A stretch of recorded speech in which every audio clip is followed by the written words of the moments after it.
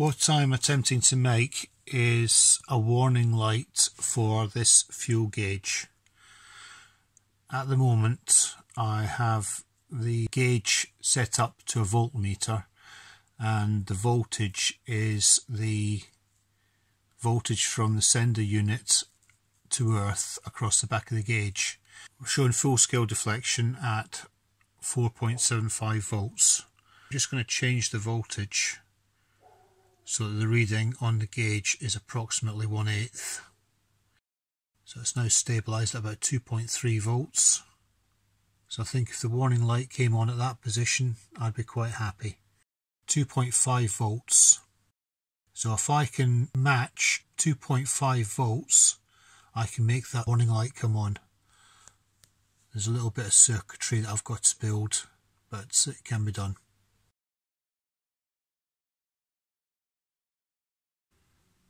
This is the circuit using an LM2901N transistor, which is a voltage comparison transistor. This is the potentiometer, 47k potentiometer, going from zero, sorry, from zero to 12 volts.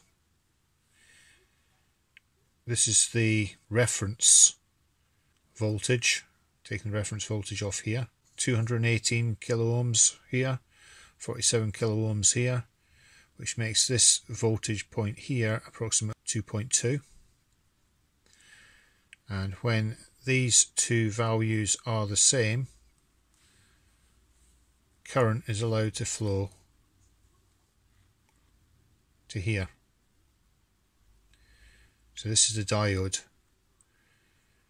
So as the voltage in this increases from zero, the light's off, increases from zero, gets to 2.2, these two voltages are the same, light goes on, voltage increases all the way to 12, light stays on. But I want I want the voltage to go the other way around. I want the voltage in this circuit to be off when it's above 2.2 and on when it's below 2.2. So below 2.2 volts the LED is off, above 2.2 volts the LED is on. I'm just going to increase the voltage in the potentiometer. Creep it up to 2.2.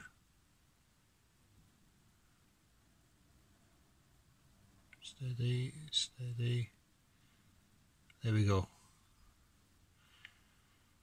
So all the way above 2.2 volts the LED is on. And when you come down, when it gets to below 2.2 volts, the LED will go off. Just creeping it down slowly.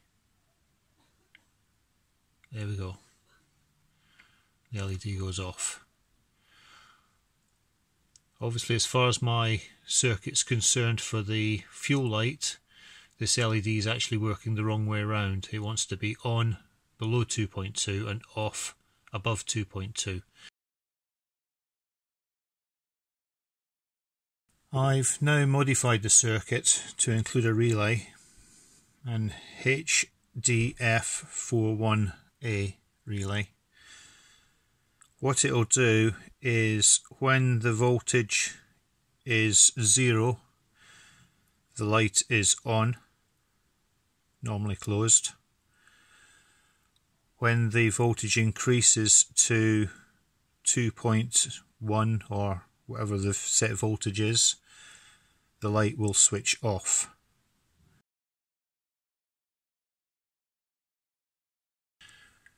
This is a situation where we'd have an empty fuel tank. The voltage is zero and the light is on. There's the light there. I'm going to fill the fuel tank. Increase the voltage in the potentiometer. It gets to 2 volts, 2.2 volts, it switches off. We've now got more than an eighth of a tank of fuel in the car. All the way to full. As the tank drains down, the voltage drops. When the voltage drops to 2.2 watt uh, volts, the light switches on.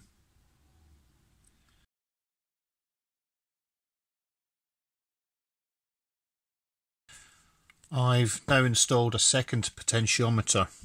The second potentiometer is so we can vary the position the light comes on at. So if we tweak this potentiometer when it's actually in the car, we can set it for whatever voltage we want the fuel tank light to come on at.